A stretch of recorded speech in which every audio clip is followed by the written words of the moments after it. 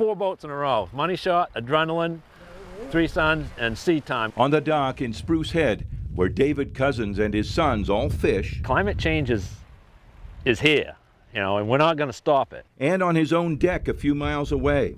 Cousins says he has been seeing the changes up close. From the early 80s to present, it's about two to two and a half degrees Fahrenheit warmer through the summer. Hmm. Is that enough to make a difference?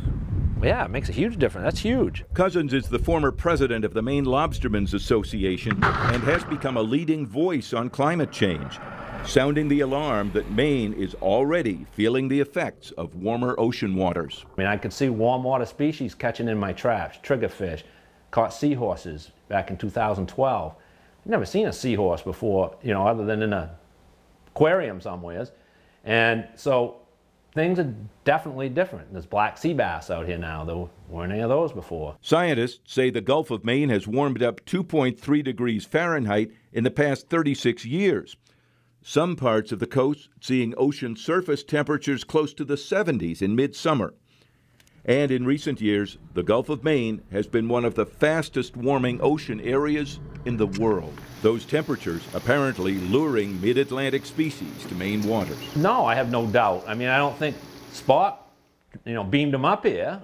I think they swam up, and I think the water is hospitable enough that they can live here now. The changes are also being felt by aquaculture businesses. At Mook Sea Farm, Bill Mook says the Damariscotta River water in his oyster hatchery was becoming more acidic, a threat to the growing shells of the tiny oysters. Scientists call it ocean acidification. And it's driven by increased carbon dioxide that's uh, going into the atmosphere. Uh, about a, a, quarter of which dissolves into seawater. Mook says adding special water treatment fixed the problem in the hatchery, but he has another worry rain. Mook says more frequent heavy rainstorms often result in closing coastal rivers to shellfish harvesting because of pollution runoff. A closure means lost sales, which is why he's invested a lot of money to build this. The building has special tanks and a closed water filtering system.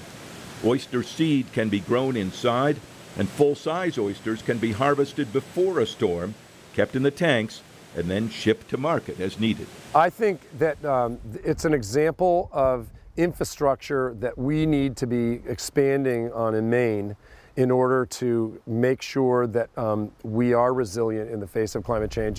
There are other impacts too. All along the coast, in places like Round Pond, towns and cities and property owners are starting to wonder about the threat from rising sea levels. This harbor is absolutely seeing the impacts of sea level rise. Sam Belknap of the Island Institute showed us his family's dock, which he says is being flooded more often because of storms and rising seas. When I grew up uh, on this wharf, it would flood and we'd have water on top of the planks that we're standing on maybe once every three or four, maybe five years. Uh, this past winter, um, there were about three inches of water in our office, which is at the same level at which we are standing, around two or three times. And Belknap and the local harbor master both say there has been more erosion along the shoreline as the sea creeps up.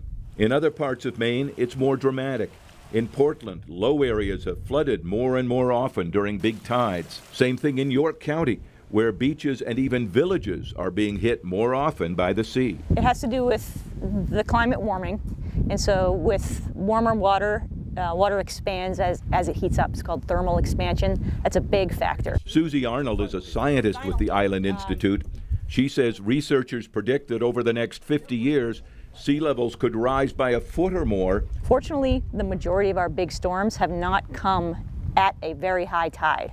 If that had been the case, it's very possible for us to have an equivalent of Superstorm Sandy here in Maine. In Portland, they've started putting up high watermark signs as a result of storms with high tides.